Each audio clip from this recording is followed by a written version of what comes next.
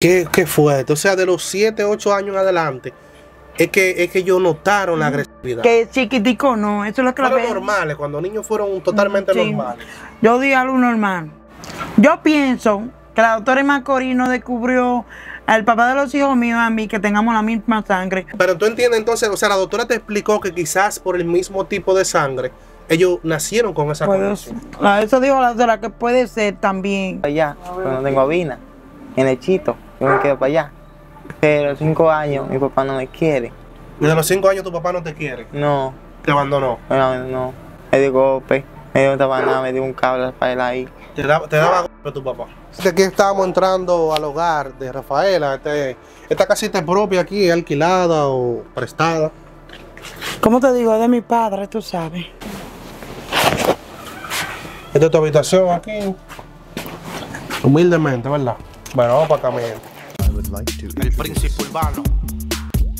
El príncipe urbano. El príncipe urbano. El príncipe urbano. Mi gente, gracias por la sintonía en este programa, El Príncipe Urbano. Bendiciones para todo ese público que se mantiene fielmente apoyando este canal. En el día de hoy le, le traigo un caso muy impa- impactante, eh, un caso bien triste, de esta joven llamada Rafaela, el cual tiene tres niños y los tres tienen una condición especial. Eh, le, dan- le han dado en varias ocasiones, ya me contaba, ataques de epilepsia. que sus mismos hijos han intentado matar con cuchillo, con de todo, porque ustedes saben que son niños que no asimilan lo que están haciendo. Eh, ¿cuál- ¿Qué edad tiene el más grande de todos? ¿Qué edad tiene? 18. La 18. más vieja tiene 20. Aunque la hembra es, es la más vieja, tiene 20, el siguiente tiene 18 y el otro cuánto? 17 y 17. 15. Ellos están ahí detrás de cámara, le vamos a censurar el rostro y le vamos a mostrar a ustedes. Eh, Rafaela, cuéntame cómo ha sido la infancia tuya primero, cómo fue tu niñez antes de tu casarte, tu, tu, tu niñez, cómo fue cuando tú eras niña. Bueno, primeramente, cuando yo era pequeña, eh, tenía problemas un poco porque nací con un oído muerto y nada más escucho de un solo lado, hay que hablarme duro. Entonces, nada, mi mamá todo el tiempo estuvo conmigo ahí, ahí, estudié, terminé, a los 32 años terminé bachiller, seguí, Te retrasaste, muchas veces tuviste que salirte, ¿verdad? ahí. Terminaste a los 32 eh, y luego te casaste. Yo me casé a los 15 años. Y a los mismos 15 años tuve la mamá vieja. ¿Cómo fue la crianza de tu madre hacia ti? Ay, Ahí recta. Pasaste muchas calamidades con ella, o sea, eran, eran, tú has sido pobre desde niña. Tu madre se le claro, mi dificultaba. mamá pasaba mucho trabajo. Tú sabes que la madre siempre pasa mucho trabajo. Pero mi mamá vendía en la calle para sobredar mi papá. ¿Qué vendía ella? Dulce, mondongo, en fritura, para podernos mantener. Somos tres, éramos, tres- somos tres hembras. O sea, ha sido una mujer trabajadora ella desde niña, o sea, desde joven, para poderla mantener a ustedes. el tiempo y hasta ahora todavía mi mamá eh, trabajadora. está- sí ¿Y tu padre? de enfermo ahora tiene siete hernias en la columna vertebral no Ay, puede santo Dios, siete etnias. eh, no puede caminar derecho lo rueda la pierna porque no puede caminar imagínate yo quisiera darle pero como Es bien difícil. Cuéntame entonces, eh, ¿tú te casaste y tuviste un hijo? O, o primero, o cómo fue? Mira. Con tu primer esposo tuviste. yo tuve una la más vieja eh, Tiene 20 años. Sí, tiene 20 años. Es, Tú lo conoces, el coquero. Con este señor yo tuve uno, se llama Jos- José. Ese fue tu primer esposo. Sí. Eh, Entonces, cuando yo me casé con él, tuvimos la hembra. Cuando él supo que estaba embarazada, se fue y me dejó embarazada. No volvió, volvió cuando ya yo tenía tres meses, la niña tenía tres meses de nacida, fue que volvió. De ahí luego mi mamá fue que crió mi niña, en realmente. Mi mamá, desde que yo di a luz, la cogió, sí, porque ya no sabía, yo no sabía cómo tener un muchacho, ni qué comprarle, ni trabajar, que era lo de menos. Mi mamá se hizo cargo. Después que mi mamá se hizo cargo, mi niña tuvo muchos problemas porque le hacían daño toda la leche que se bebía.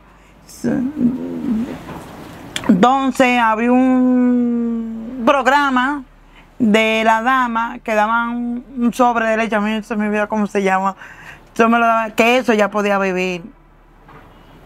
Entonces de ahí yo seguí en mi estudio, pasito a pasito, después volví y me casé. Cuando me casé tuve el primero que el varoncito, pero él nunca anotó problemas. El problema de ellos vienen de que tienen 7, 8 años, que vienen anotando esa agresividad que ellos tienen. Lo he intentado en varias escuelas y no me lo aceptan. La condición que tiene. ¿Qué, qué fuerte? O sea, de los 7, 8 años en adelante, es que, es que ellos notaron la agresividad. Que chiquitico no, eso es lo que Fueron normales, cuando niños fueron totalmente Sí. normales. Yo di algo normal. Muy bien. Y hasta los médicos que me entendieron con él decían que ellos nacían muy sanos, fuertes, pero entonces hay problemas ahí. ¿Qué tú crees que pasó entonces? Yo pienso que la doctora Macorino descubrió al papá de los hijos míos a mí que tengamos la misma sangre, pero no somos familia. Ay, ay, ay. Ok, entonces tienen el mismo apellido y el mismo No, tipo no de tengamos sangre. el mismo apellido. El pero mismo sí. tipo de sangre. ¿Qué tú me Eh, dices? eh, yo tengo A positivo y el papá tiene A positivo. ¿Y el apellido tuyo cuál es? Yo me llamo Rafaela Santo Valdés. ¿Y él? Se llama Eury. O sea que es el mismo tipo de sangre, pero no los apellidos son... mm, diferente apellido. Pero tú entiendes entonces, o sea, la doctora te explicó que quizás por el mismo tipo de sangre, ellos nacieron con esa Puede condición. Ah, Eso dijo la doctora que puede ser también. Puede también eh, traer eh, discusiones. Tú sabes que las parejas discuten mucho. Él peleaba mucho. Y yo sufro- soy nerviosa. Y dice que eso puede causar problemas también en la barriga, que ellos nacieron también un poco así. Pero entonces la otra dice que ellos sufrieron recaída también desde que yo tenía el embarazo. Que ellos nacieron con ese mismo problema. Wow, qué fuerte esto. Eh, ¿Qué tan difícil ha sido? Porque es es un día a día, es una batalla que tú tienes. No es fácil. La gente lo ve fácil. Pero ellos están atrapados todavía en un cuerpo de un niño que no sabe lo que hace. Mira como tú me decías detrás de cámara. Que hay ocasiones que te han intentado contra tu... Te han dado con te han dado... Que, que tú tienes la cicatriz ahí. Me mordió los otros días por ahí. Entonces, nada. Hay que tener mucha paciencia para lidiar est- estos ángeles, porque son ángeles, son ellos no saben lo que no están saben. haciendo. Hay que tener paciencia, porque no todas las madres lo aguantan eso, tú sabes. Cuéntame, ¿de dónde tú sacas el valor? ¿De dónde tú sacas la paciencia para lidiar con ellos? Porque es una bendición tener los hijos, pero un caso así es especial. Mira, como yo te digo, primeramente Dios me da la fuerza. Y mi madre, que vive, aunque ella no viene y me visita, tan- pero me llama por teléfono, siempre me dice, mira, Dios sabe a quién le dio los a quién le da los hijos así. Dios me lo dio así porque dirá decir que yo tengo la energía, la fuerza para luchar con ellos. Mira, de que yo me levanto, Mira, un beso te va a dar. ay Dios mío. Wow. Sí, amor, sí. De que yo me levanto, eso es luchando con ellos hasta que me acuesto, no tengo paz. Ve, lo dejo aquí trancado un ratico en la tarde para salir a buscar qué comer para ellos, porque a mí nadie me trae, a mí nadie me dice toma. Soy una mujer, como te digo, que para yo salir eh, por ahí a pedir, a mendigar, yo busco la manera de buscarle el pan a ellos día a día. A mí me dicen muchas personas, muchacha, como que lo dejé así botado, vete, no, Estos son diablos lo que te dicen. ¿Y cuáles son los animales? no puedo. O sea, ellos quieren que tú dejes a tus, a tus hijos botados. En esa, en Te esa- aconsejan gente de aquí para eso. Mira, lo último que me aconsejó una amiga, que fue lo último, vivía por aquí y se fue. Una mañana me levanté desesperada, gritando con el afán de yo tres, y decía, ay Dios Señor, ¿qué yo hago? Me dijo, muchacha, pero no lo pienses mucho, si me digo yo. Cogí un lazo y ahórcate con todo ese muchacho para allá abajo, dale para el puente, para allá. Increíble, lo iba a Esa- Esa hacer. no es una amiga tuya, es una diabla. Increíble, y yo lo tú iba te ibas a hacer. llevar de ella, o sea, con, con Tú el sabes, con el débil. desesperamiento. Increíble y era verdad. Yo no digo, después yo Cuando otra muchacha me cayó atrás. Una persona, Rafaela, ¿qué pasó tanto tiempo? Yo le dije, "Ay, muchacha, yo no puedo más. No, pero vamos a repartirlo, ven. Yo me llevo uno por dos o tres días para mi casa, hasta lo que tú te refresques un poco. Y de ahí me montó ella, me trajo, me dijo, ay, no, fa, no haga eso, que tú has luchado tanto por ello. Después ya le pedí mucho perdón a Dios porque yo iba a hacer una cosa que no era debido. Pero oye, cualquier desesperado lo hace. Y nadie sabe lo que yo paso ahí con esos muchachos, nadie. Nada más yo y Dios sabemos. Y mi mamá que sabe de hecho. Mira, cuando se me cortó ahí y ahí, yo lo que hice es que me puse a llorar. Y mi mamá vino con mi papá, mi papá tiene un, un y vino lo buscó para llevar. Yo le dije, no papi, no lo llevé. Porque si él, si yo comparto fuerza con él y usted está enferma, usted lo tumba y lo más rápido. Y no es porque yo quiera, porque la psiquiatra de Puerto Plata me echó a mí, que no es porque yo quiera, que es por su problema que Ellos están tengo. atrapados en un mundo que ellos ni siquiera saben. Mira, es un tema delicado porque mucha gente va a opinar sin saber, pueden ofenderte a ti o a mí con, con cualquier cosa que uno diga mal dicha, pero es un tema, mi gente, de que ellos están en este mundo y literalmente una persona que sea psicólogo lo sabe. Que ellos ni siquiera saben que están aquí porque no están en su sentido. ¿Tú me entiendes? Es un tema bien delicado y me gustaría que la persona, quiero agradecerle a Paula también, que fue la señora que me habló de este caso y se lo agradezco. Yo tengo un público amplio ahí, mi gente de Estados Unidos, Europa, que le gusta ayudar a personas así.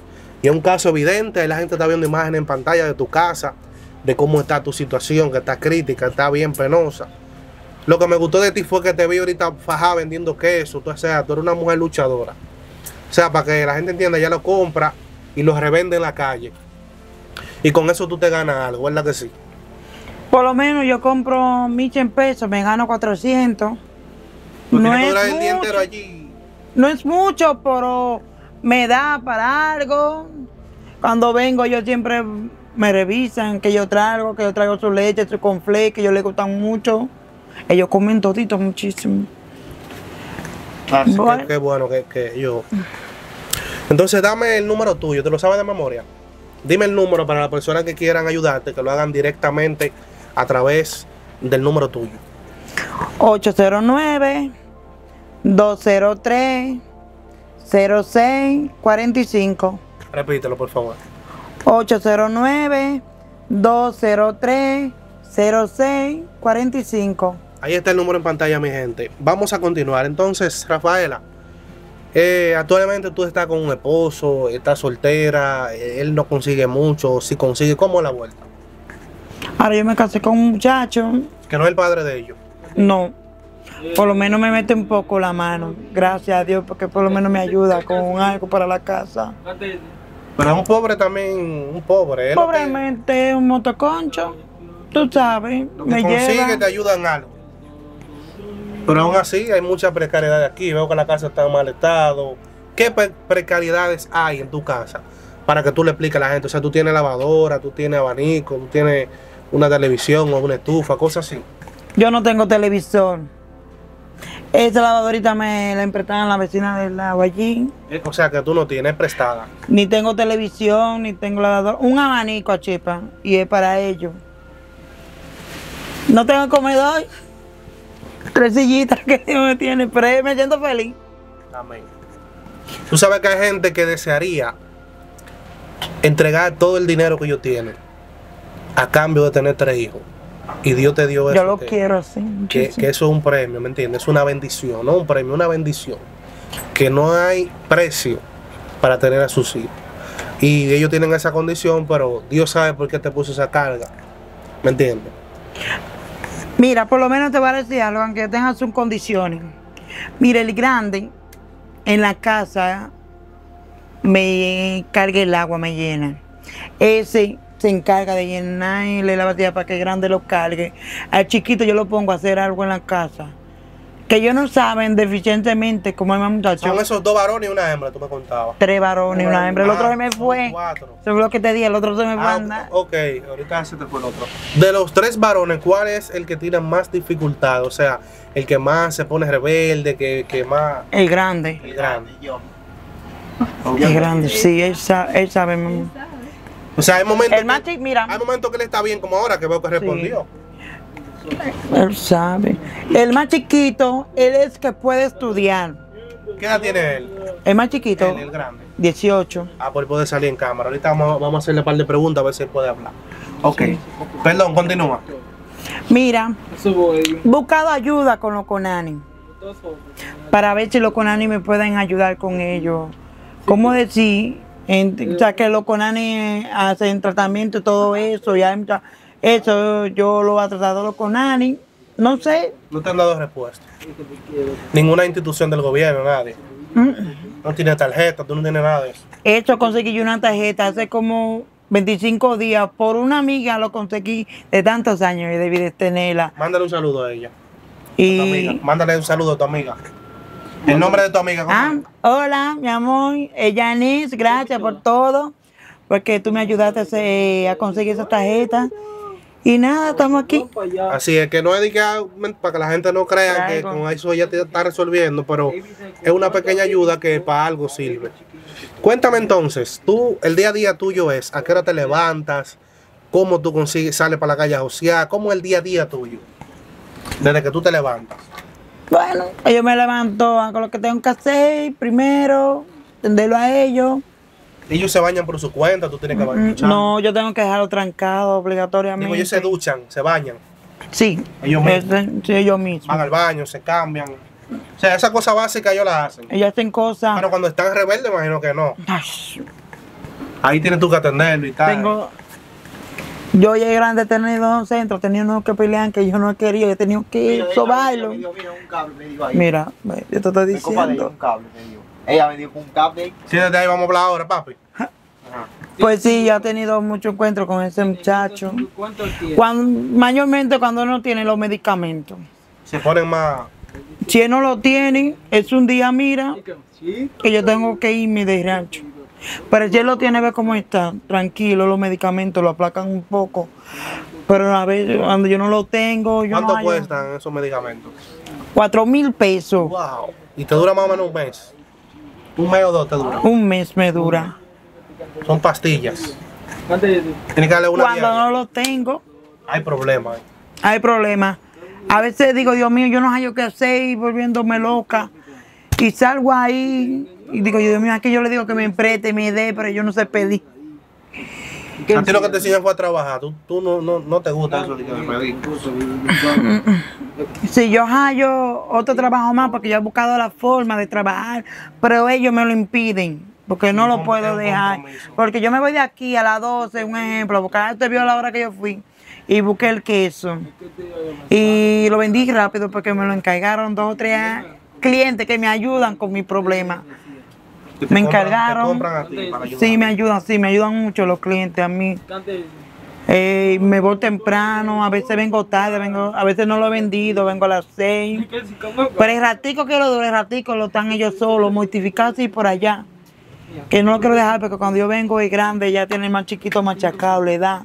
Que a veces no quiero salir. Veo que él no habla bien. Él, él tiene dificultad para hablar. O sea, eh, se arma un problema. Cuando tú no estás aquí, hay un problema entre ellos. Ahí, que tú andas, tú sales a trabajar y andas nerviosa, eh, pensando en él.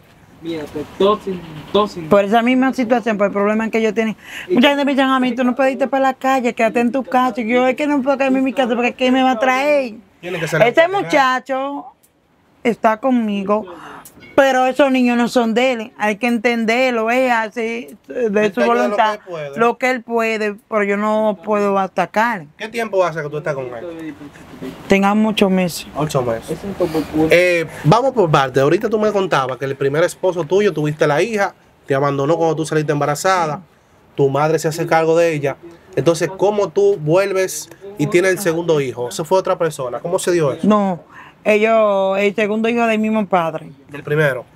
¿Y cómo te metiste tú con el primero sabiendo que ya te dejó abandonada? ¿Cómo No, se da no. eso? Mira, el primero un, el papá de la hembra, La hembra. esa parte, ellos tres es de un solo, de otro padre. Ah, ok. Tú lo cono- conociste a ese otro, esa otra persona, tuviste al hijo varón primero. Y, y ese es dos. padre y el otro Tres chiquito, varones. tres varones. Y él ha sido papá. responsable, él te ha ayudado o te abandonó también. ¿Cómo te digo? Él desde que yo lo tuve a todito, él se hizo responsable a todo. ¿Qué pasa? Que la vida eh, le cambió a él. Económicamente no está bien él. ¿Eh? Digo, económicamente él no está bien para ayudarte. No. ¿Qué le pasó a él? Se fue por allá a trabajar lejos, tú sabes, hizo su vida por allá, porque él no aguanta esos afán de ellos tampoco. Le salió huyendo, para más decirte, Te abandonó prácticamente. abandonó. Me lo dejó cinco, seis y ocho años. O sea, hasta esa edad él se hizo responsable. Luego él como que se cansa de eso y sale corriendo y se va. Hizo su vida por allá. Eso es lo que tú me dices, mamá. Y automáticamente yo lo quieren mucho, el papá. Él viene de vez en cuando. Así cuando nos topamos en la calle, Y no vive aquí ahora. ¿Eh? Él vive aquí. Sí, en el ranchito. Otro sitio por aquí. Sí, pero es que va, que tiene una esposa que es jodona. Ella dice que si no puede venir a mi casa a ver a esos muchachos, que tiene que verlo así por allá, por la calle. Bueno, bien complicado.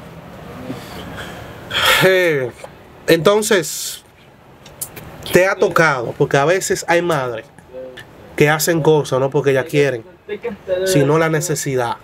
Porque tú tienes tres hijos ahí, cuatro. La hembra se te casó, tú me dijiste ahorita. Allí viven, que tú la puedes entrevistar si tú quieres también. Está bien, ella es mayor de edad, ya tiene 20 y pico, Sí. está bien.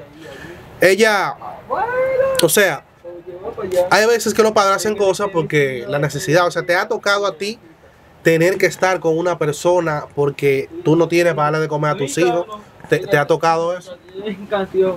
Siendo sincera. Ahí, papi, Siéntate, ahí. papi, ahí, que vamos a hablar ahora. Sí, ya ahí, compramos ahora, sí. Sí, siéntalo, ayúdalo ahí, papi. 5. Siéntalo, ven, siéntalo. ¿Qué 50 David? Siéntate, papicito. Siéntate, papito, ahí. David 5 Sí. contigo 5 Texas. Ya, Brandon. Ok, entonces te ves sola. Comenzaste a luchar tú sola ahí, pero ¿qué pasó entonces? ¿Cómo, cómo si te conseguiste otra pareja que te ayudara o fue hasta ahora que, que conseguiste ese esposo? Hasta ahora fue que yo me conseguí ese muchacho. eh, ese muchacho en la calle, lo conocí, allá ¿Cómo lo adelante conocí? donde yo vendí. Él vendía aguacate. Allá adelante, al lado de la escuela, y ahí nos fuimos, conocimos. Y ahí, no, pero yo antes de que nos juntáramos, yo le expliqué primero mi condición de mis tres hijos. Porque si digo algo, el hombre que no me quiere mis hijos, no me quiere a mí. Entonces yo ahí... Tú la realidad y la verdad. Claro. Ellos tienen un problema y yo no puedo aceptar que otro venga. Eh, ¿Cómo va a cobrármelo? Por problemas que tienen, no. Se va primero que ellos, porque son mis hijos. Eso lo paré yo y a mí me dolió. Y yo soy la, la única que entiendo los problemas de mis hijos, más nadie lo entiende. Y con esos muchachos he cargado yo. Y todavía no se sabe hasta cuánto, hasta que Dios me tenga viva. Estoy luchando con ellos. Hasta que Dios quiera. Así es, claro, porque son tus hijos. Entonces, cuando eh, el, el el hombre que tú tienes ahora, él está aquí todos los días, amanece aquí contigo, o, o sea, eh, formalmente está, tú tienes un compromiso con él que tienes que cocinarle y cosas. Claro, mira, para más decirte, somos dos ambos, él me ayuda mucho. Pobremente te ayuda. O sea, sí, me ayuda mucho. Si él, cocina, me ayuda a lavar, él me ayuda a hacer cosas de la casa, que nada más no me deja a mí sola. Pero quedó ambos para ayudarse. Sí, él me ayuda mucho. No me puedo te- te ha quejar. tratado bien. Sí. Todo va bien. No me puedo quejar de ese ¿Cuál es muchacho. tu sueño, Rafa, Rafaela, verdad? No me tuyo. ¿Cuál es tu sueño, Rafael? ¿Cuál es mi sueño? Ay, Dios mío. Mi sueño fuera yo arreglar mi casa, llevar a mis hijos al médico, al mejor médico para tratarlo. Para que se puedan recuperar de esta condición. Sí, para que ellos se recuperen un poco la cabeza, porque tienen problemas. La doctora dice de nada que ellos tienen un pequeño problema, no es tan grande. Que eso con buen tratamiento se lleva. Ellos no tenéis para llevarlo. Porque yo quisiera tenerlo para llevarlo a un buen médico, pero no tengo para llevarlo a un buen médico. Porque la, la doctora te dice que con, con un buen tratamiento ellos se pueden sanar. Claro, La hija tuya no, no, no presentó esta condición. no, nada. La niña mía no me tiene problemas en los huesos, que son de cristal. se rompen de cualquier cosa. Si tú le aprietas la manito así, se le rompen dos o tres partes. Tiene problemas en los huesos ella nada más. Imagino que ella está con, vive con unos dolores, una cosa. De vez en cuando, ¿verdad? Porque los huesos son Claro. Eh, ella se casó a los 16 años. a los 16. Sí, y la mantuve ahí con un aparatico por tres años. Después tú sabes, ahí yo no quería que ella tuviera hijos porque tenía problemas. Pero lo tuvo con mucha dificultad, pero está ahí. Bueno. Ahí era que tenía problemas para caminar mucho.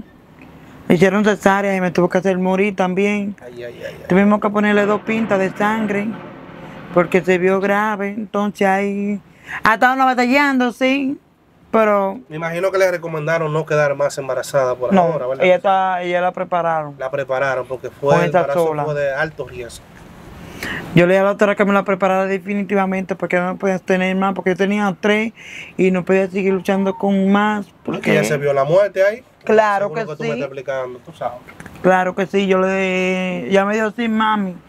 Yo tengo que metido porque tengo tres manitos que están enfermos y no puedo, yo también tengo problemas. Pues ella terminó su bachiller, porque es muy inteligente, ¿ay? Terminó su clase hasta ahora. Que bueno, el esposo de ella la ayuda y cosas. Viven bien eh. Claro, él ayuda y le hace todo en la casa, le ayuda porque con el problema de ella. Ella no puede caminar bien. O Ella camina, pero tú sabes, no es igual. Si eh, ella quiere venir a mi casa, yo tengo que buscarla y traerla a agarrar. Que se, se debilita la pierna. Wow. Qué fuerte. Eh, hay días que yo me imagino que quizá ahora porque tú tienes una pareja que como tú decías él te ayuda un poquito más, pero es pobre también. Pero hay días que tú te has tocado aco- acostarte sin cenar, que se te ha hecho difícil. Hay- Muchas hay, veces. muchas veces que Muchas veces me ha tenido que acostar sin cenar y sin comer. Lo que no aparece. Imagínate, son tres niños que tú tienes. Es difícil. Ahora mismo, este país, con la condición que está, se le hace difícil a una persona a veces encontrar para mantenerse él mismo. Imagínese usted donde hay tres niños, más usted y el esposo que usted tiene ahora, que es pobre también. Que por lo menos, gracias a Dios, te conseguiste ese esposo que hasta lo que tú me cuentas, puedo notar de que él eh, te está tratando de ayudar, porque te ayuda a limpiar la casa, te ayuda, ¿me entiendes? Pobre al fin te ayuda. Eh, entonces, anterior a este, a este, tú pasabas todavía más calamidades, todavía. pasabas más trabajo. Yo pasaba muchísimo trabajo, mucho. Y ahora más, estoy pasando más porque cada día la cosa está más difícil. Sus medicamentos tan caros, cuatro mil, tú me decías. Que si, eso- si yo tuviera la forma de que me ayuden con los medicamentos, con la comida, con lo que fuera, yo estoy conforme con lo que me den. Tú verás que sí, que la gente, de, mi gente del Príncipe Urbano, de este canal, te va a apoyar. Ahí está, el número en pantalla, mi gente, para que me ayuden a Rafaela con este caso. Tú verás que sí, que la gente te va a dar un seguimiento. Tú tienes WhatsApp, ¿verdad que sí? Tú me dijiste. Ahí la persona tú le mandas video de ellos, lo pone a hablar, cualquier pregunta que te quieran hacer. Ahí está mi gente, colabórenle, porque hoy por usted, hoy por ella, mañana por ustedes. Son cosas que Dios la ve, ¿me entiendes? Así que bendiciones, eh, metan mano ahí eh, con ella. Tú sueñas con tener quizás, tú me decías ahorita con tener tu casa, tener tus hijos bien, que estén sanos, pero aparte de eso te gustaría como tener un negocito o algo, como para tú no estar jodiendo en la calle. Eso yo quisiera tener un negocito, me gusta también. De, Vender comida, vaina así. de lo, eso yo quisiera también, pero no hay forma. Sabes que para uno poner un negocio hay que alquilar un local. Y hay que tener por supuesto de dinero, yo no tengo eso. Solamente nada más consigo para vender mi, mi, mi queso que vendo. Que cuando tengo mil compro mil, cuando no, cuando tengo más compro más, pero cuando no hay, no se vende. Pero quiero, me gusta, sí, me gustaría. Tú eres de aquí, de Rosan Juan, o sea, nativa de aquí. Soy nacida de aquí mismo, de Río San Juan pura. Eh, bueno, mándale un saludo a tu gente de Rosan Juan de aquí. ¿Cómo se llama este barrio aquí? ¿Cómo se llama? Nueva York chiquito. Nueva York chiquito. ¿Por qué le dicen así? Yo no sé, será porque es muy chiquita. Le dicen así Nueva York. Sí, oye. Vamos a hablar un ching con, con el hijo tuyo. Ven, Ven, ven, papi, ven de aquí. Pon el micrófono grande. Ay, se veo que él está muy alegre. Ya él tiene 18 años, ¿verdad que sí? 18. Yo debí ponerme un calice. Tiene la cámara, yo estoy inteligente. Debí de ponerme un calice. Ok, mi gente, nos encontramos aquí con uno de los hijos de Rafaela. Ella tiene dos adultos ya, que es la hembra. Que ella tiene unos 22 o 20 años, tú me decías, 20 que tiene Rafaela. La hija tuya, 20 años. 20, Y él tiene 18. 18. Ok, eh, ¿cómo tú te sientes hoy? Me siento bien, y 10 euros, y 16 euros que estoy aquí. Mi papá está para el campo y no puedo ir para allá, porque no tengo vina. En el chito, yo me quedo para allá. Pero 5 años, mi papá no me quiere. Desde los 5 años tu papá no te quiere. No, Te abandonó. no, no. Me dio golpe, me dio tabanada, me dio un cable para él ahí. Te da, te da golpe tu papá. Sí, mi mamá. Y yo no quiero, pero con mi mamá, con mi papá. Que tú a veces te pones muy rebelde y, y tu mamá me decía que tú la atacas a ella. Tú cuando estás así, tú no te acuerdas lo que está haciendo. Tú no sabes. No, mentira. Tú no no, sabes, él no, no. él no lo asimila. él no. Yo ¿Qué- con, qué, con qué tú sueñas, papi? ¿Qué te gustaría en la vida? Sé, tú querías ser un doctor, un abogado, un Yo seré profesor. estoy, yo seré estoy. Un doctor, tú eres. Sí. Yo soy un niño grande. Tengo 15 años. Yo tengo edad de edad. Y yo no me quiero caer con fa. Tú, tú le, le oras a papá Dios, papá Dios. Tú hablas con papá Dios.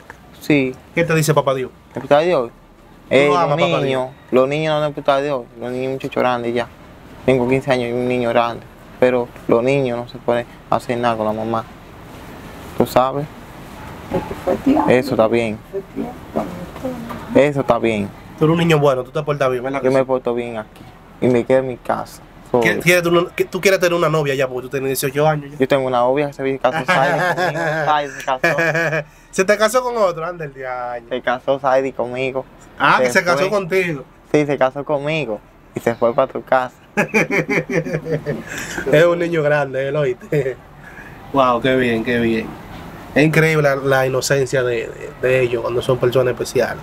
Mi gente, quisimos mostrarle un poquito a él. ¿Qué fue, Brandy? Ay. Quisimos, mi gente, darle un, un poquito, mostrarle a él, porque ya él es adulto. Y ya tiene, recuerden, dos niños menores. Pero nada, bendiciones. Cuida mucho a tu mamá, oíste, que las madres son únicas. Y hay que valorar a, a las madres, oíste. Tú, tú quisieras ir a la escuela, ¿verdad que sí? Pero no te dejan estar en la escuela. Yo no estoy en la escuela, me la bien los muchachitos, jugar pelota, de todo. ¿Te Yo voy a la- voy a jugar pelota así. Y bate la pelota, me la que no pierde, me la que no pierde, no aguanto más de escuela. ¿Para qué vi? ¿Qué hacen maldad en la escuela, Y dice la profe que no cree que ve en la escuela hoy. Eso está bien. Y digo que sí. Ujú. Y no porque vi hoy. No, no, no. Y los niños me aceptan en la escuela. Mañana sí. Y el lunes está bien. Yo no porque vi ahora. Y la novia tuya. ¿Te mía. casaste con ella Yo ya? me casé con Saidi y lo boté. ¿Y por qué? Que sí, Saide que llama. mi esposa. ¿Y por qué la dejaste? Y yo lo dejé porque ella el médico se casó conmigo, con ella, se casó con, con 10 días conmigo y ya se fue para allá con médico. Está bien, está bien, está bien. Vamos a hablar un chingo con la mamá, mi gente, de él y vamos a finalizar. Dale, ven. Gracias, papi, gracias. Espérate, quítale el micrófono. Por dentro, va. Por lo que veo, él es un niño grande. Él asimila una cosa, otra que no, pero es una batalla. De- pero de, de- del otro, comparándolo a él, el otro tiene un poquito más de problemas, ¿verdad que sí? El menor.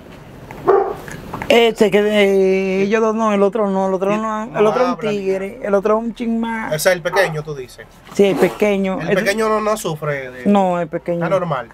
Es un poco más que sí, en la escuela quisiera me lo aceptaran. No te lo Porque se aceptar. portan muy él se porta muy bien, el otro. ¿Y, por- y no te lo aceptan en la escuela? No quieren aceptar en la ¿Cómo escuela. eso? Yo he buscado todas mis maneras para que ni que sea ese solo, ni que sea coja la escuela. eh. Por la edad, porque dicen que tiene 17 años, no lo pueden poner en un curso, tú sabes, y aquí no es una escuela especial. Prediquen, no me crea que llegó, de que para, para cada escuela, tres aulas para niños especiales. Pero yo estoy tratando de ver a ver si a eso yo lo tengo. Porque ese yo me lo llevo a buscar queso. Todos los días en el motor yo me lo llevo. No, al chiquito, pregúntale a él, mi motor. Tiene un motorcito que tú estás de, de pie. Al motorcito, ajá. Ese motorcito de yo moverme.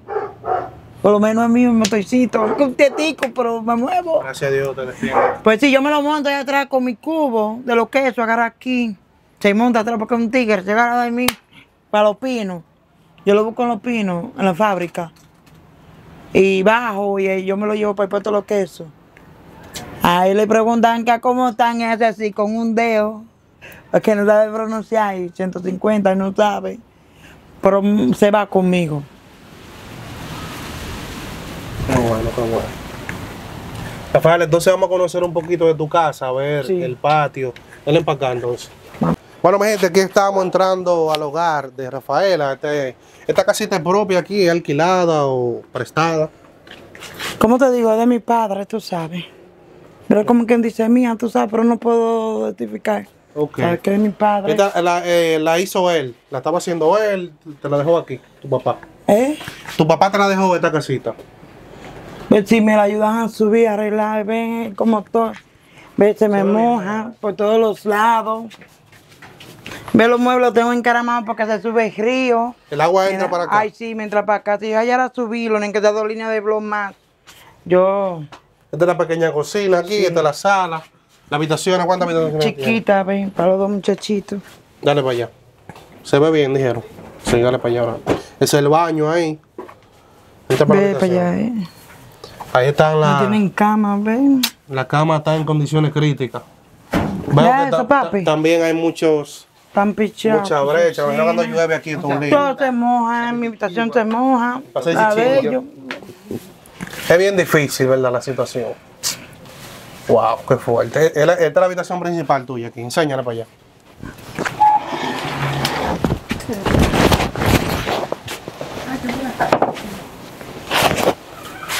Esta es tu habitación aquí. Humildemente, ¿verdad? Bueno, vamos para acá, mi gente. Vamos para el patio aquí. Ah, gracias, mamá. Y si da bueno.